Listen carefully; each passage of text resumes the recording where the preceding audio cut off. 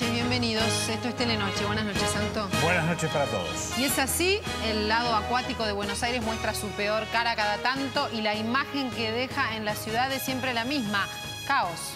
Y las heridas que le dejó el agua a Buenos Aires se ven por todas partes. Por ejemplo, en este garage donde a las 24 horas del comienzo de la lluvia todavía no se fue el agua. En esta cuadra de Palermo, de los dos lados de la vereda, hay problemas también. Mario, contanos.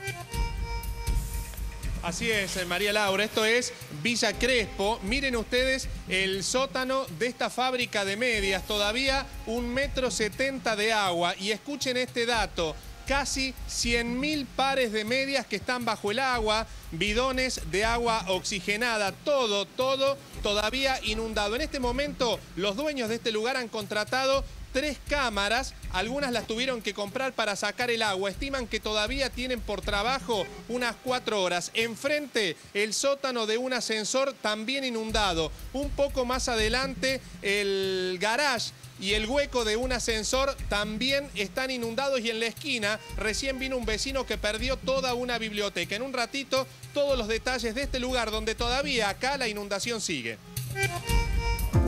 El gobierno de la ciudad dijo que cayeron 88 milímetros en poco más de una hora y que no hubo aviso de alerta.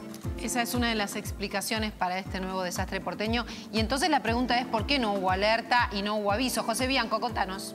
Bueno, María Laura, no hubo aviso, no hubo alerta porque la tormenta se formó de manera repentina sobre la capital federal y además no se movió durante las dos horas prácticamente que duró esta lluvia fuerte. Pero atención, hay que empezar a hacerse algunas preguntas. ¿Tenemos todas las herramientas, los meteorólogos, para poder predecir este tipo de fenómenos a la brevedad? Vamos a ver en un ratito este, eh, esta herramienta, este termómetro que viaja a través de la atmósfera.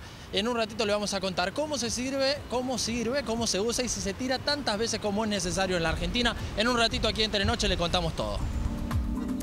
Más allá de las obras, más allá de las explicaciones, hay una realidad en la que coinciden muchos expertos. Parece que Buenos Aires quedó vieja. Entubar un arroyo es un disparate. Los ríos no se pueden entubar.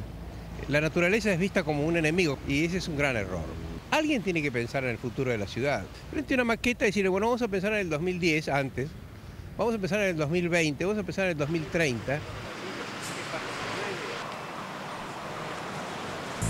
Y el agua eh, tiene muchos efectos. El primero es la inundación y como vimos el otro, quizás la consecuencia más molesta es la luz. Y eso lo están padeciendo muchos vecinos, los vecinos de esta avenida comercial. Gustavo, mostranos.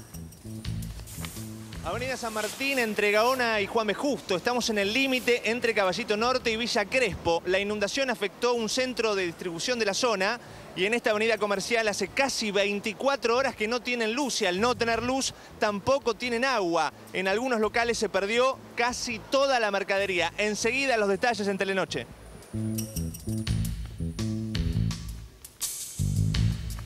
Además del agua, hay mucha más información. Enseguida, después de los títulos.